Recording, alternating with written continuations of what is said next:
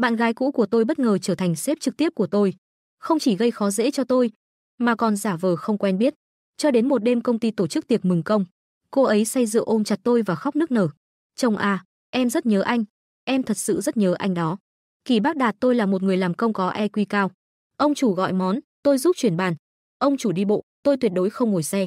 Lễ nghĩa chu đáo, ai đến cũng phải khen một câu tốt đẹp. Cũng chính vì vậy, khi vị giám đốc mới sắp sửa được bổ nhiệm, tổ chức giao phó nhiệm vụ vinh quang này cho tôi, mà tôi chỉ mới liếc qua hồ sơ của giám đốc mới, thì ngay lập tức con ngươi tôi chấn động, lãnh đạo mới của tôi sao có thể là Liễu Như Yên, bạn gái cũ của tôi, ngoại hình không thua gì tiên nữ, chỉ là đầu óc có chút không thông minh, nếu không thì sao tôi lại đá cô ấy hai lần, để tôi làm trợ lý riêng cho cô ấy, thật sự còn khó chịu hơn cả bị cá mập cắn. Vậy là tôi lập tức quỳ xuống không đứng dậy, khóc lóc nói với quản lý, tôi không thể gặp mỹ nữ, mỹ nữ sẽ ảnh hưởng đến tốc độ làm việc của tôi. Quản lý nhất thời hoảng hốt, chỉ có thể để vị trí đó cho người khác cạnh tranh. Do Liễu Như Yên có ngoại hình xinh đẹp và năng lực xuất sắc, nhiều người đều muốn theo sau cô ấy làm việc. Vì vậy trong văn phòng bàn bạc suýt nữa đã xảy ra đánh nhau. Cuối cùng mới khó khăn lắm mới chọn được nhân sự. Ai ngờ rằng ngày hôm đó, quản lý dẫn người được chọn sẵn qua giới thiệu vài câu. Liễu Như Yên nhíu mày. Trong tài liệu ban đầu gửi cho tôi, hình như không phải anh ta. Biểu cảm của cô có chút dữ tợn. Quản lý vô thức lùi lại một bước, nhân viên đã chọn trước đó có chút ngoài ý muốn. Chúng tôi đã chọn lại một người xuất sắc tương tự. Liễu Như Yên hạ bớt mày, giơ tay ngắt lời, có gì ngoài ý muốn. Giọng điệu của Liễu Như Yên rõ ràng không mang chút cảm xúc nào, nhưng nghe lại có phần nào đó đáng sợ. Quản lý bị nghẹn lời, run rẩy nhìn về phía tôi. Liễu Như Yên cũng theo ánh mắt của quản lý nhìn qua. Tôi ước gì có thể chui đầu vào nách mình, nhưng ánh mắt cô ấy lại dừng lại trên người tôi, khẽ nhếch khóe miệng. Không phải vẫn ổn đó sao? Quản lý bước vài bước lớn đến, đẩy tôi đến trước mặt Liễu Như Yên. Tôn Kính giơ tay lên, nếu Liễu tổng đồng ý, thì người này cũng rất ổn. Tôi mím môi, không nói được câu nào. Liễu Như Yên lại mỉm cười, hình như rất hài lòng. Tôi muốn anh ta. Quản lý dẫn Liễu Như Yên đi. Tôi nghe thấy anh ta hỏi nhỏ, Liễu tổng, cô đã gặp nhân viên đó trước đây chưa? Sao lại nhận ra được như vậy? Liễu Như Yên khẽ hừ một tiếng, chưa từng gặp qua, chỉ thấy có chút quen mắt thôi. Giọng nói dần dần nhỏ lại, còn tôi thì đứng đờ ra tại chỗ, nhìn bóng dáng họ rời xa. Các đồng nghiệp ném cho tôi ánh mắt ghen tị. Có thể theo chân Liễu tổng mới đến, anh thật sự có phúc đấy tiểu đạt. Còn tôi thì nhớ lại ánh mắt cười mà như không cười của Liễu Như Yên vừa nãy, cảm thấy thật muốn khóc mà không có nước mắt. Cô ấy rõ ràng là muốn gây sự với tôi. Phúc khí này các anh có muốn không? Sau khi trở thành trợ lý của Liễu Như Yên, thời gian làm việc của tôi từ 9 giờ sáng đã chuyển thành 8 giờ sáng. Nguyên nhân không phải vì ai khác, mà chỉ vì Liễu Như Yên muốn đi làm lúc 8 giờ, nên tôi phải đi cùng giờ với cô ấy. Tôi nghi ngờ cô ấy đang nhắm vào tôi. Hơn nữa tôi có bằng chứng. Trợ lý Kỷ, cà phê hôm nay có vẻ hơi lạnh. Trợ lý Kỷ, dữ liệu này hình như có vấn đề. Trợ lý Kỷ, máy in hết mực rồi. Trợ lý Kỷ, tôi không thể nhịn được nữa. Vung tay ném tập tài liệu đi. Liễu Như Yên, cô có trẻ con quá không? Liễu Như Yên chỉnh lại mái tóc của mình, nghiêm túc nói, trợ lý Kỷ, trong giờ làm việc không được gọi thẳng tên đầy đủ của cấp trên. Liễu Như Yên từ từ nhặt tập tài liệu lên, bổ sung thêm, nhất là với những người lãnh đạo không quen biết, tôi tức đến nỗi phổi như muốn nổ tung, chúng ta chỉ mới chia tay vài tháng thôi. Vậy mà cô đã không còn quen biết tôi nữa. Liễu Như Yên liếc tôi một cái nhạt nhẽo, bạn trai cũ của tôi đã nói, sau khi chia tay thì trở thành người lạ. Cầu thì vẫn là cầu, đường thì vẫn là đường, sông về sông, núi về núi. Đáng ghét thật. Lúc đó làm sao biết được cô sẽ trở thành lãnh đạo của tôi chứ? Tôi chăm chú nhìn vào mắt Liễu Như Yên, cô ấy vẫn đứng vững như núi, lạnh lùng đến đáng sợ, còn hỏi lại tôi, anh thấy tôi nói không đúng sao? Tôi tự biết không thể phản bác, chỉ có thể tức tối nghiến răng. Liễu Như Yên thấy tôi bị thiệt thòi, khóe môi khẽ nhếch lên, rồi lại nhanh chóng hạ xuống, mặt mày nghiêm túc. À này, trợ lý Kỷ, cuối tuần này tôi sẽ tổ chức hát karaoke cho toàn thể mọi người. Anh nhớ phát thông báo nhé. Tôi cảm thấy rất kỳ lạ. Ai nói vậy? Cái gì hát karaoke? Liễu Như Yên Lưu Như Yên dùng hai ngón tay gập lại tờ thông báo, nâng mày cười nói, đương nhiên là tôi nói rồi. Liễu Như Yên cố tình muốn chọc tôi, biết rõ tôi không biết hát, còn nhất quyết tổ chức một buổi tiệc mừng công hát karaoke. Tôi cũng không thể không đi, không đi cô ấy sẽ ghi tôi vắng mặt. May mà công ty chúng tôi đông người, đặt mấy phòng riêng. Tôi tranh thủ lúc đi vệ sinh, trốn vào phòng không có Liễu Như Yên. Mọi người thì người hát, người chơi trò chơi, tôi không biết hát, ngồi ngay ngắn trong đám người chơi trò chơi, có lẽ trong lòng không yên. Vận may của tôi cũng rất kém, chẳng bao lâu đã thua. Hình phạt tôi rút ra được là gửi tin nhắn cho người yêu cũ nói, chúng ta quay lại với nhau nhé. Tôi chỉ do dự trong chốc lát, rồi không chút do dự chọn tự phạt ba chén. Các đồng nghiệp cười ầm lên, có phải rất ghét bạn gái cũ không? Thà uống ba chén cũng không gửi. Tôi mím môi lại với vết rượu, cười nói, Quả thật có một chút, nếu gửi tin nhắn kiểu này cho Liễu Như Yên, cô ấy có thể sẽ tin thật. Tôi vừa uống ly rượu cuối cùng, vừa nửa đùa nửa châm chọc, bạn gái cũ của tôi, cho cũng không thèm để ý. Vừa dứt lời, Liễu Như Yên không biết từ lúc nào đã xuất hiện. Cô ấy cầm một ly thủy tinh, liếc nhìn tôi một cái với vẻ mặt thản nhiên. Tôi lập tức cứng người lại. Cô ấy đến lúc nào vậy? Tất cả những gì tôi nói đều bị cô ấy nghe thấy. Tôi không tự chủ được nắm chặt tay áo, cơ thể lùi lại một chút. Nhưng cô ấy lại không để ý tôi, từ từ tiến lại gần. Ánh mắt hơi lạnh, chó cũng không thèm để ý. Thật thú vị. Đồng nghiệp không hiểu ý nghĩa ở đây, cũng đùa giỡn nói, quả thật rất thú vị. Liễu tổng cũng đến chơi một chút sao? Tôi còn chưa kịp nói vài câu ngăn cản. Liễu Như Yên đã gật đầu. Trong tiếng cười của đồng nghiệp, tay tôi đã xoắn lại thành hình dạng như sợi dây. Cô ấy rõ ràng không thích chơi trò chơi này. Nếu rút phải thứ gì đó lộn xộn thì phải làm sao? Chẳng bao lâu, Liễu Như Yên không phụ lòng mong đợi mà thua. Tâm trạng căng thẳng của tôi cũng đạt đến đỉnh điểm, bởi vì cô ấy đã rút phải câu hỏi giống tôi. Mọi người bắt đầu ồn ào, bạn trai cũ của Liễu tổng sẽ như thế nào nhỉ? Liễu Như Yên lơ đãng liếc nhìn tôi, không nói gì. Chán tôi toát mồ hôi nhẹ, chỉ cảm thấy thời gian trôi thật chậm chạp, chậm đến mức tôi cảm thấy như mình đang bị ảo giác. Trong ánh mắt tò mò của các đồng nghiệp, Liễu Như Yên từ từ lấy điện thoại ra, gửi đi vài tin nhắn, gửi một tin, điện thoại tôi rung một cái, gửi thêm một tin, lại rung một cái. Các đồng nghiệp gần đó nhìn thấy ảnh đại diện WeChat, nhìn tôi với ánh mắt nghi ngờ, thật khó mà tin. Số này hình như là của Tiểu Đạt, chỉ trong chốc lát, hầu như tất cả mọi người đều nhìn về phía tôi. Liễu Như Yên nhanh chóng tắt màn hình, tôi nắm chặt điện thoại, cảm giác như không thể biện bạch, Tiểu Hạ thần kinh không kịp phản ứng tình huống, rất nghi hoặc nói, không phải là đang nhắn tin cho bạn trai cũ của Liễu tổng sao? Có liên quan gì đến Tiểu Đạt? Ở góc phòng có người nhỏ giọng giải thích, có khả năng nào không? Họ là cùng một người. Tôi có chút ấp úng, cố gắng giả vờ bình tĩnh. Cái, cái gì? Sao đều nhìn tôi vậy? Đồng nghiệp thông minh nào đó đã nhớ lại những lời tôi vừa nói lúc nãy. Mọi người nhìn nhau không dám nói nhiều. Sau một khoảng lặng ngắn, Liễu Như Yên chậm rãi mở miệng, chỉ là trùng hợp thôi, không cần phải căng thẳng như vậy. Giọng điệu Liễu Như Yên rất bình tĩnh, hoàn toàn không có ý che giấu. Mọi người lúc này mới lại bắt đầu xôn xao. Tôi cũng cuối cùng thở phào một hơi. Quả thật không thể ở chung một phòng với Liễu Như Yên, vừa chật vừa nóng, lại dễ bị nhồi máu cơ tim. Phải ra ngoài hít thở không khí, tranh thủ khi họ đang chơi vui vẻ. Tôi lại lén đi nhà vệ sinh, chưa đi được hai bước, thì đúng lúc gặp chị Lâm vừa đi ra, cô ấy vừa thấy tôi, đôi mắt lập tức sáng lên, "Tiểu Đạt." Chị Lâm vừa ngồi gần Liễu Như Yên nhất, cũng nhìn rõ nhất, tôi có chút hốt hoảng. "Chị Lâm, có chuyện gì vậy?" Chị Lâm lau lau nước trên tay, một cách thần bí kéo tôi sang một bên, hạ thấp giọng nói, "Tiểu Đạt, đến đây đến đây." Tim tôi đập như trống, sợ rằng chị Lâm sẽ hỏi tôi về những chuyện bí mật nào đó. Không ngờ chị Lâm kéo tôi vào một góc, với vẻ mặt đầy hứng thú. Tôi nói với cậu này, tôi vừa thấy Liễu tổng đặt tên cho bạn trai cũ của cô ấy. Tôi có chút bối rối. Chị Lâm nhớn mày một cách phóng đại. Liễu tổng đặt tên cho bạn trai cũ là ngoan ngoãn đó. Tôi luôn cảm thấy đây là một câu chuyện không đơn giản. Cậu thường tiếp xúc với Liễu tổng nhất, cậu cũng cố gắng nghe ngóng chút tin tức đi. Tôi nhất thời ngẩn ngơ. Liễu Như Yên vẫn không thay đổi tên của tôi sao? Chị Lâm vẫn tiếp tục lải nhải. Cậu nhìn hành động không chút do dự của Liễu tổng đi, vừa nhìn là biết rất muốn tái hợp với bạn trai cũ, nhưng không có cơ hội thích hợp. Lần này cuối cùng thì cũng có lý do. Tôi lòng như lửa đốt, hoàn toàn không nghe vào những lời chị Lâm nói sau đó. Chỉ nhớ khi rời đi, chị Lâm vẫn ra hiệu cho tôi. Chị tin cậu đó, kể từ ngày hôm đó, công ty bắt đầu xuất hiện một tin đồn mới. Liễu tổng là một người có tình cảm sâu sắc, loại người yêu thương sâu đậm với bạn trai cũ. Để khai thác sâu hơn về câu chuyện của cái gọi là bạn trai cũ này, mọi người sẽ gặp nhau vào một thời gian cố định ở khu vực pha trà để trao đổi thông tin. Hôm nay đã là ngày thứ năm, tôi bị ép đến đây để cùng nghe. Tiểu Hạ giơ tay chỉ vào không trung một cái. Hôm nay, tôi đã hoàn toàn nắm rõ tất cả thông tin. Chị Lâm thúc giục, tin tức gì? Nói nhanh đi, đừng có vòng vo nữa. Tiểu Hạ cười bí ẩn. Bạn trai cũ của Liễu tổng, tính khí rất tệ, tính cách lại khó chịu, chỉ nhìn nửa thân trên mà khó phân biệt nam nữ. Tôi lặng lẽ cúi đầu nhìn mình, rơi vào im lặng.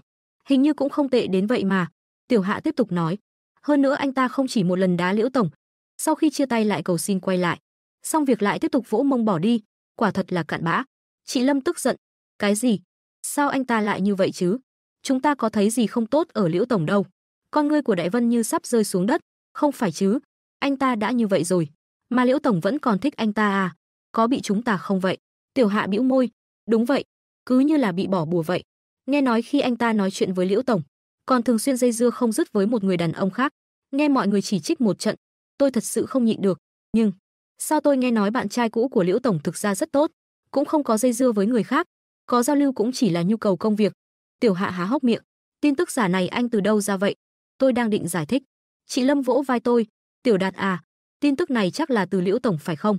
Trong mắt người yêu thường có tây thi mà. Cậu đừng có tin vào cái đầu đầy tình yêu của liễu tổng. Nói xong lại bắt đầu tiếp tục mắng chửi người bạn trai cũ kia. Tôi thật sự không thể nghe thêm nữa. Lén lút lùi lại chuẩn bị chuồn đi tại góc rẽ, bất ngờ va phải một người đầy áp lòng tốt, còn có mùi hoa mai quen thuộc. Tôi xoa xoa sau gáy rồi quay đầu lại, rơi vào một đôi mắt trầm tĩnh sâu thẳm. Liễu như yên bình tĩnh nhìn tôi, trên mặt có một vẻ chế nhạo rõ ràng. Kỳ bác đạt, cái này đã không thể nghe tiếp được sao? Cô ấy tiến lại gần tôi, mi mắt khẽ run rẩy. Có một điều, không phải do chính anh làm. Tôi mím chặt môi không nói gì. Liễu như yên im lặng một lúc, đột nhiên mạnh tay vỗ vai tôi. Giọng nói mang theo sự tàn nhẫn bây giờ đến lượt tôi báo đáp anh rồi. Tôi rất rõ ý nghĩa của sự báo đáp này. Âm thanh trò chuyện ở trong phòng trà bên cạnh dần dần nhỏ lại. Hình như có người sắp đến. Không kịp nghĩ nhiều. Tôi mạnh mẽ rằng ra khỏi liễu như yên. Xin lỗi liễu tổng. Liễu như yên từ trước đến nay là người có hành động rất mạnh mẽ. Ngày hôm đó đã đưa cho tôi hơn 10 cuốn tài liệu. Nói là hạng mục đấu thầu mới cần lưu ý. Muốn tôi toàn bộ nhớ kỹ. Tôi đã phải thức cả đêm mới xem xong. Hôm sau đi làm. Quầng thâm mắt gần như rơi xuống đất. Đại vân trước mặt tôi búng tay một cái vô cùng đáng đánh nói. Anh cosplay gấu trúc à tiểu đạt. Tôi lặng lẽ trừng mắt nhìn cô ấy. Cô ấy mới cười hì hì nhảy đi. Vừa đi được vài bước, va phải liễu như yên đột ngột xuất hiện. Liễu như yên nhíu mày. Trong giờ làm việc, cô đang làm gì mà lại cười đùa như vậy? Liễu như yên như có một loại cảm giác bình thản. Trong đó ẩn chứa sức mạnh đe dọa giết người trong vô hình. Đại vân lập tức như tan biến. Cúi người lảo đảo quay về. Tôi đứng bên cạnh. Vừa lúc chạm phải ánh mắt của liễu như yên, bỗng dưng nảy sinh một loại ảo giác không nên có giống như trở lại trước kia. Khi cô ấy giúp tôi ra mặt, tôi lắc lắc đầu, thành thật đi theo liễu như yên vào văn phòng. Cô ấy lơ đãng lật xem tài liệu nói, đã thức khuya xem xong rồi à? Tôi gật gật đầu, đã xem hết rồi, không nghỉ ngơi à? Tôi tiếp tục gật đầu, tiện thể ngáp một cái. Liễu như yên im lặng một lúc, sao tự dưng lại ngoan ngoãn thế này? Tôi ngẩng đầu lên, liễu như yên nhận ra mình đã nói sai, có chút máy móc quay đầu đi, anh ra ngoài trước đi, tôi ngoan ngoãn trở về chỗ làm, tiếp tục làm quen với tài liệu khoảng 10 phút sau, khu làm việc bỗng nhiên bùng nổ một tràng hoan hô. Tôi không biết chuyện gì đã xảy ra, chỉ thấy vài đồng nghiệp nhảy nhót trong sảnh, hỏi ra mới biết. Nhóm công tác đã gửi thông báo mới, công ty đã thêm ngày nghỉ sớm.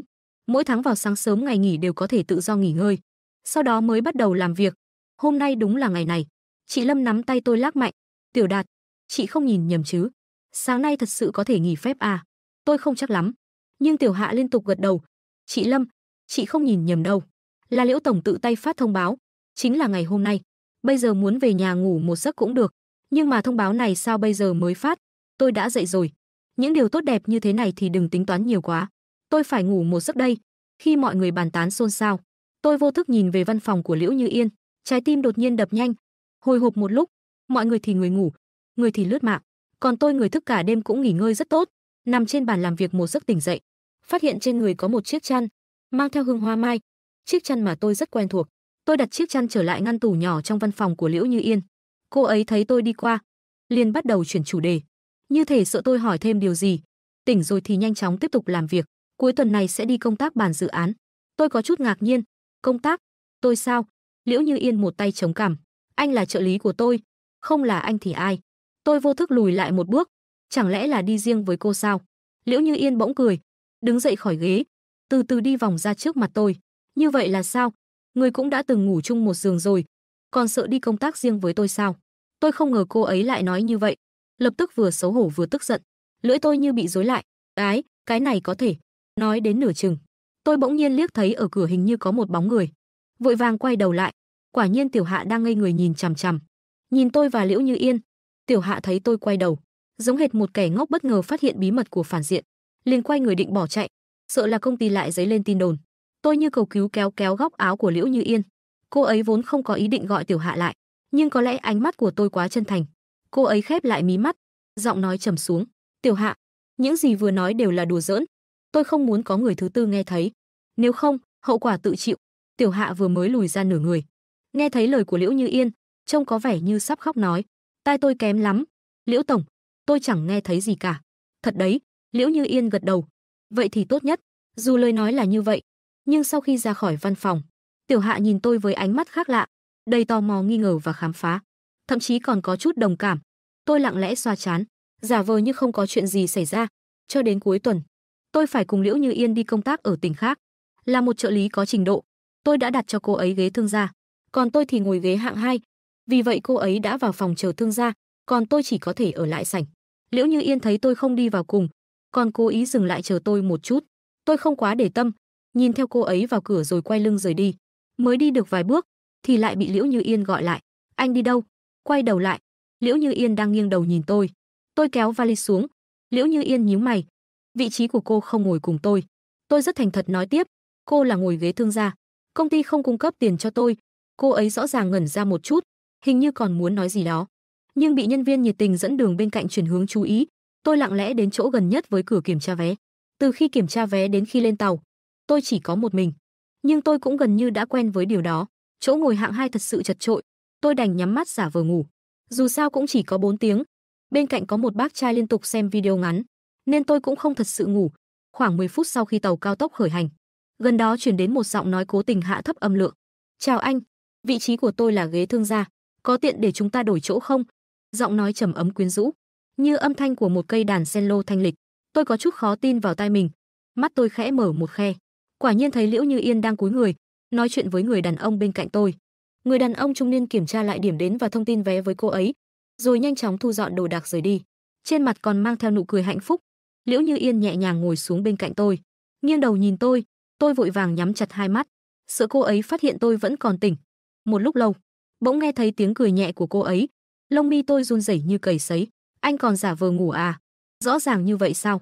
Tôi lặng lẽ mím môi, vẫn không dám mở mắt. Liễu Như Yên không biết đã dùng thứ gì quét lên mí mắt tôi.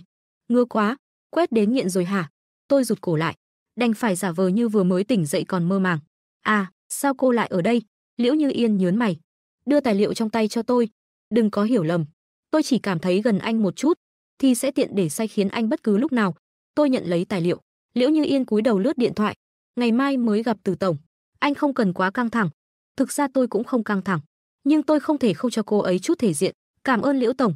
Cô ấy vô tình vẫy tay. Khách sạn đã đặt xong chưa? Tôi gật đầu một cái, lật ra đơn đặt cho cô ấy xem, đã đặt xong rồi. Cách công ty của họ 2 km, môi trường cũng khá tốt. Liễu Như Yên liếc nhìn vài lần, gật đầu hài lòng.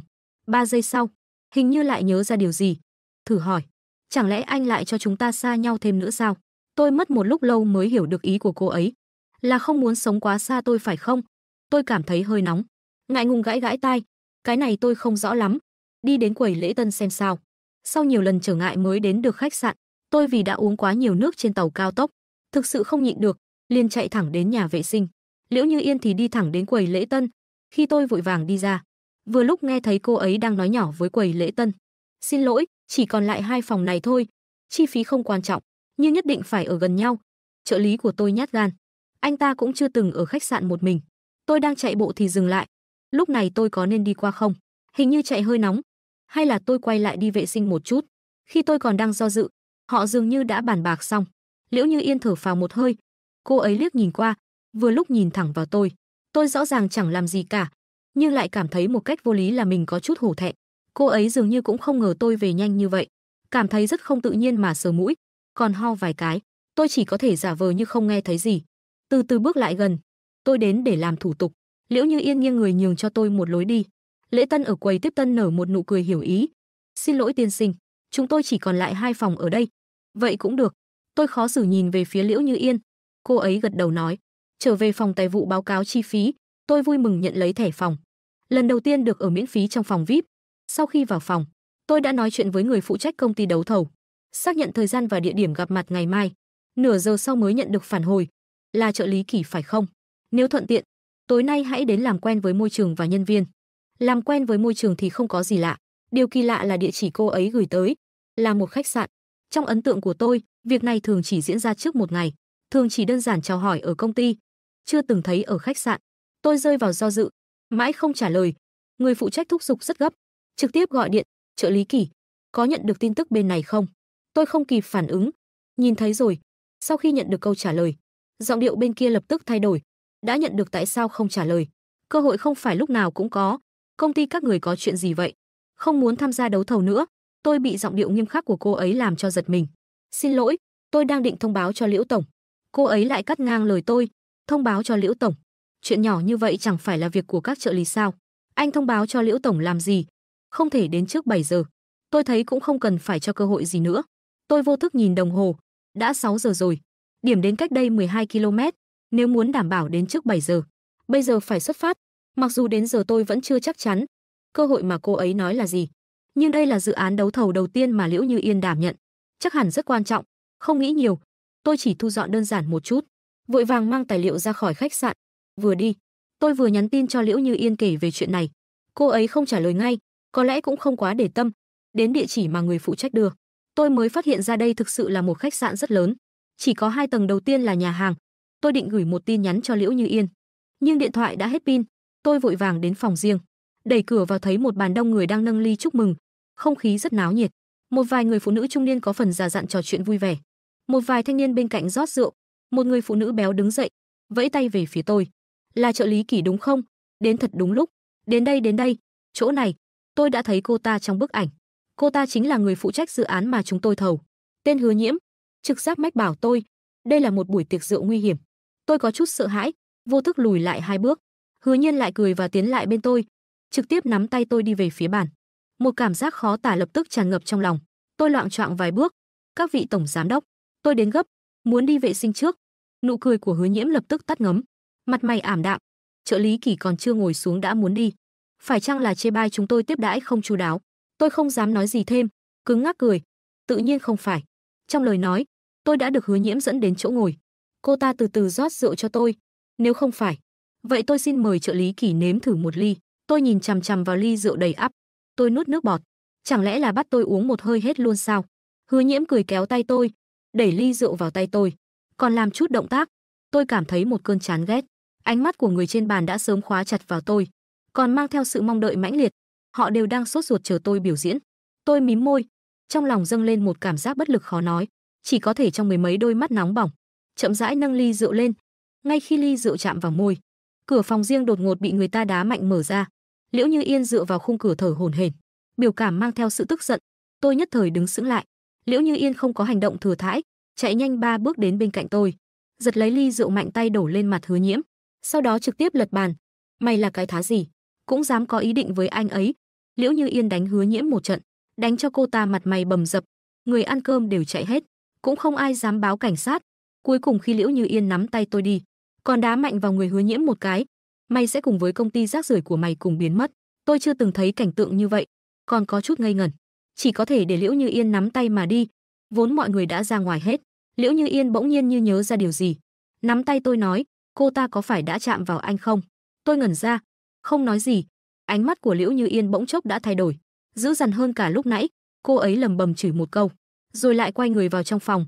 Tôi không nhìn cô ấy, nhưng tôi nghe thấy tiếng gào thét của Hứa Nhiễm. Cô ta nói tay mình sắp đứt rồi, khi Liễu Như Yên quay lại, cô ấy vẫn tự nhiên nắm lấy tay tôi. Tôi cũng ngoan ngoãn để cô ấy nắm.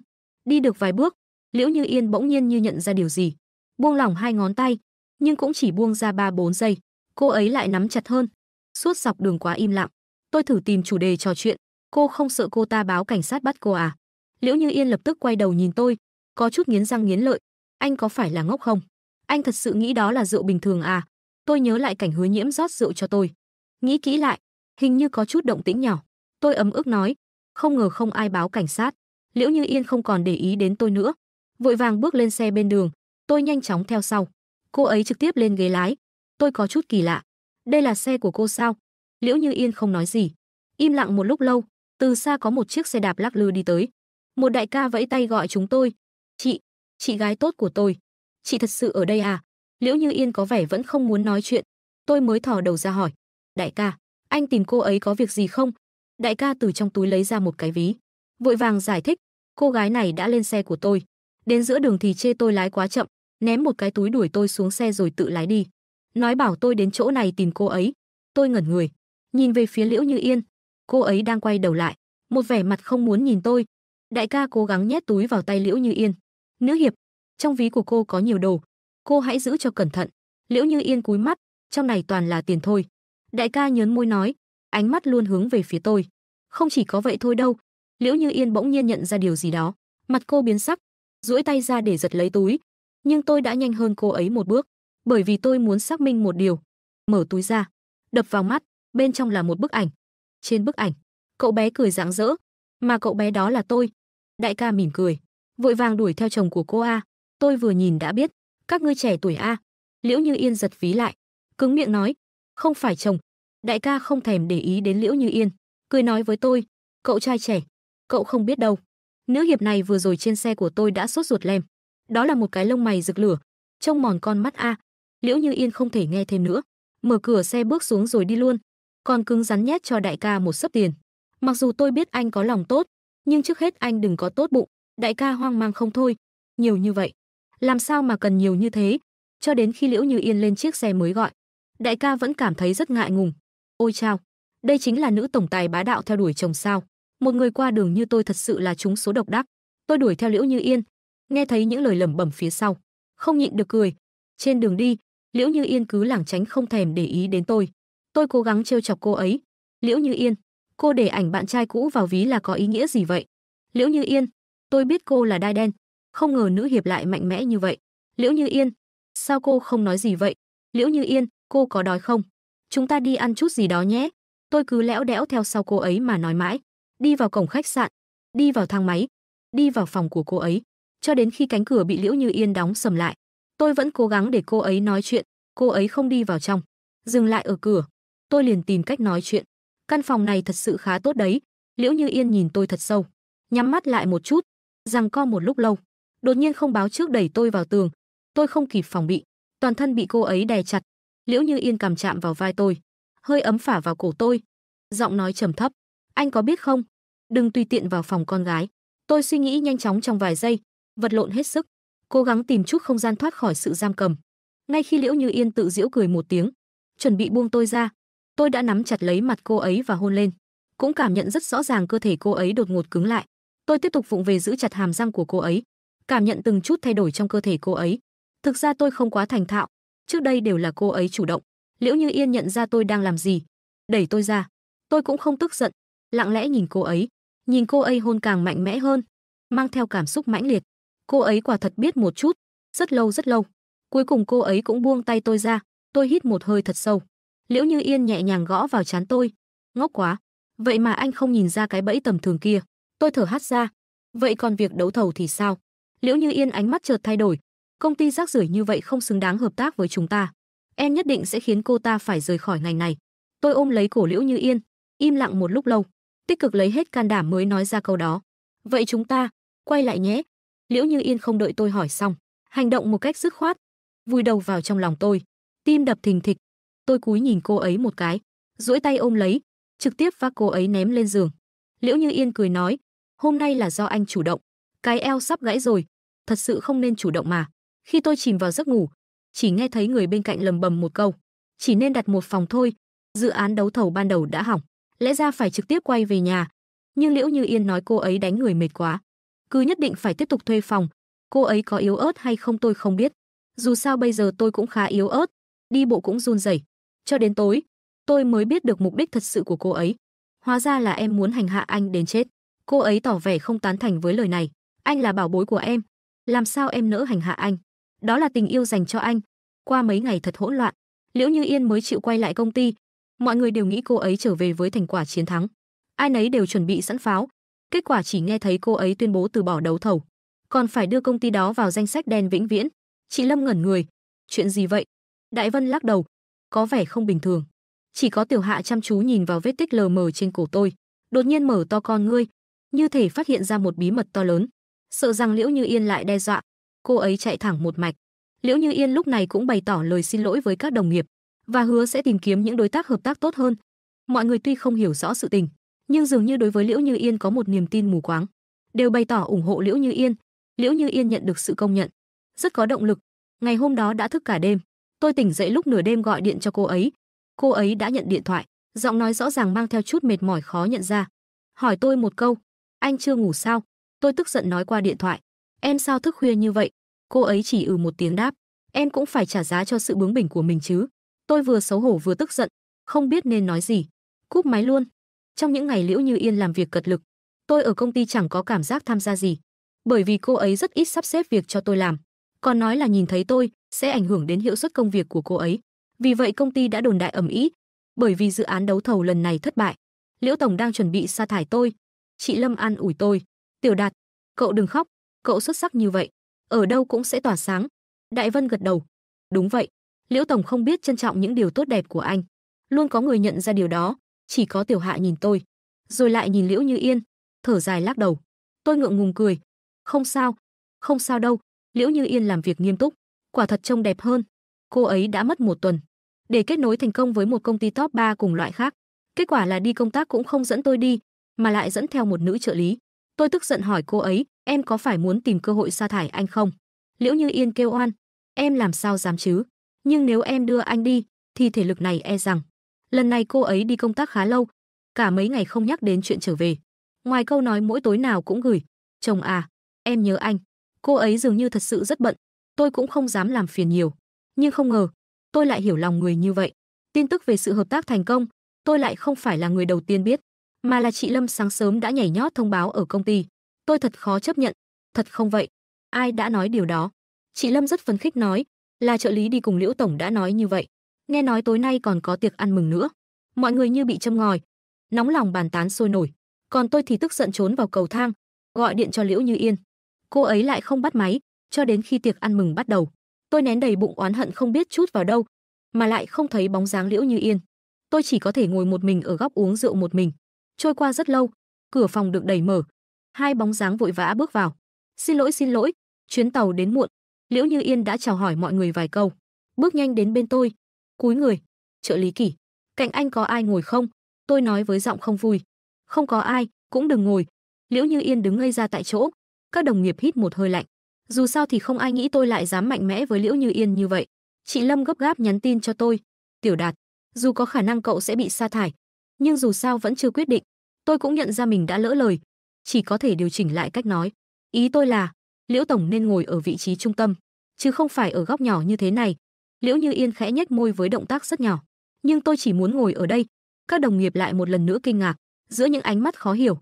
Chỉ có Tiểu Hạ tiếp tục thở dài lắc đầu, nhưng dưới sự kiên trì của tôi, Liễu Như Yên vẫn ngoan ngoãn ngồi vào ghế chính. Sau đó cúi đầu gửi tin nhắn, tôi cảm thấy điện thoại liên tục rung, nhưng tôi không nhìn. Liễu Như Yên thấy tôi không để ý đến cô ấy, cũng nâng ly bắt đầu uống rượu một mình. Các đồng nghiệp lần lượt đến chúc rượu cô ấy, uống một ly rồi lại một ly. Gương mặt Liễu Như Yên bắt đầu ửng đỏ, uống một ly rồi lại một ly. Cô ấy mở to miệng bắt đầu nói linh tinh. Tôi nhận ra có điều không ổn muốn chạy, kết quả bị cô ấy ôm chặt lại, vùi đầu vào lòng tôi khóc lóc. "Chồng ơi, em nhớ anh quá, em nhớ anh lắm." Rồi quay người lại, đối diện với cô trợ lý đi công tác cùng, đều tại cô, thông báo với người khác vội vàng như vậy. Bất ngờ tôi chuẩn bị cho chồng đã bị cô phá hỏng rồi. Kể từ ngày đó, chị Lâm lắc đầu, hóa ra kẻ ngốc lại chính là chúng ta. Tiểu Hạ mặt mày ủ rũ, cái này thì không liên quan đến tôi phải không? Tôi thật sự cảm thấy nghẹn đến khó chịu, tôi rất xấu hổ. Mà Liễu Như Yên vì không muốn mọi người có ý kiến gì khác, chủ động nói rằng mình sẵn sàng giải đáp thắc mắc của mọi người. Đại Vân giơ tay trước, bạn trai cũ của Liễu tổng chính là Tiểu Đạt phải không? Liễu Như Yên gật đầu, đúng vậy. Chị Lâm nhớ lại những chuyện đã xảy ra ở phòng trà, ánh mắt lấp lánh không dám nhìn tôi hỏi. Trước đó, Liễu tổng, thật sự đã bị đá hai lần sao? Liễu Như Yên ôm chán, rất là bất lực đáp, đúng vậy. Các đồng nghiệp ồn ào lên, mọi người đều la hét muốn nghe quá trình. Liễu Như Yên nhìn tôi một cái thật sâu nói, lần đầu tiên là lúc trung học, vì không tặng anh ấy một bộ trang phục trong game Vương giả vinh diệu, anh ấy liền chia tay. Đại Vân trợn mắt, ôi trời, hai người đã bên nhau từ hồi trung học rồi. Tôi lặng lẽ cào tay, lúc đó thấy cô ấy xinh đẹp, tôi đã theo đuổi điên cuồng suốt 3 tháng, sau đó cảm thấy cũng bình thường thôi nên tìm đại một lý do để đá cô ấy a. À. Có người gấp gáp hỏi tiếp, rồi sau đó thì sao? Liễu Như Yên nhìn tôi với vẻ u oán. Lần thứ hai, anh ấy làm trợ lý cho phụ nữ, tôi ghen tị. Anh ấy thấy tôi phiền, lại đá tôi. Lúc đó lớn lên một chút, tôi phát hiện ra Liễu Như Yên thực sự rất tốt, lại bám giết để quay lại với cô ấy. Quả thật đã trải qua một mối tình hạnh phúc. Kết quả là sau khi tôi đi làm, cô ấy ngày nào cũng nhắc nhở, để tôi không tiếp xúc quá nhiều với những cô gái khác, muốn tôi thực sự giống như Đường Tăng lúc trước thiếu chút nữa đã trở thành trợ lý của Liễu Như Yên. Nhân sự được chọn làm trợ lý lúc trước giơ tay hỏi, "Liễu tổng vì Tiểu Đạt mà đến đây sao? Chỉ cần anh ta làm trợ lý." Liễu Như Yên gật đầu, đó là điều hiển nhiên. Tiểu Hạ so với nhân sự được chọn còn ủy khuất hơn hỏi, "Liễu tổng và Tiểu Đạt từ khi nào thì tái hợp vậy?" Hôm đó tình cờ gặp phải, còn bị đe dọa không được nói ra. À? Tôi không nhịn được cười. Liễu Như Yên chạm nhẹ đầu mũi, khẽ ho, "Chuyện riêng tư như vậy, đừng hỏi nhiều." Sau đó, một nhóm người vây quanh tiểu hạ hỏi cho ra lẽ đó là chuyện riêng tư gì sau một lúc công ty của hứa nhiễm bị phanh phui vấn đề thuế và bản thân cô ta bị lộ ra một loạt các hành vi vi phạm quy tắc ngầm, đang chờ đợi phán quyết. Các bản tin địa phương đã liên tục phát sóng trong vài ngày. Tôi nhìn thấy trên TV, Hứa Nhiễm bị phóng viên vây quanh, mặt mày tiều tụy, không nhịn được cười, chẳng lẽ đây là do em gây ra? Liễu Như Yên từ trong bếp thò đầu ra, rất tự hào. Không lẽ anh nghĩ em bận rộn hàng ngày, chỉ để ăn không ngồi rồi, dám đánh chủ ý vào anh, cô ta sẽ phải trả giá. Tôi vặn to âm lượng TV một chút, Liễu Như Yên lắng tai nghe, vừa nghe vừa khịt mũi, cái loại phụ nữ già này, kết án tử hình cũng không quá đáng. Tôi lặng lẽ nghe cô ấy làm nhảm, không đáp lời. Liễu Như Yên nhận thấy tôi không để ý đến cô ấy, cảm thấy tủi thân nói: "Chồng ơi, sao anh không để ý đến em?" Tôi tiếp tục xem TV. Liễu Như Yên lầm bầm: "Chồng ơi, em đã chuẩn bị cho anh một bất ngờ. Anh lại đây xem thử đi." Tôi nhất thời tò mò. Bất ngờ gì vậy? Còn giả vờ bí ẩn nữa. Anh lại đây xem thì biết mà. Tôi đi về phía bếp. Vừa vào bên trong, tôi đã rất ngạc nhiên. Liễu Như Yên sao lại chỉ mặc một cái tạp dề, lại còn là tạp dề Hello Kitty. Cô ấy lao đến ôm chặt lấy tôi, thổi hơi vào tai tôi. Anh có bất ngờ không nè? Anh, sợ hãi thì đúng hơn. Khi hoàng hôn buông xuống, ánh chiều rực rỡ, hai tay tôi bị Liễu Như Yên nắm chặt. Lần này, em sẽ không bao giờ buông tay anh.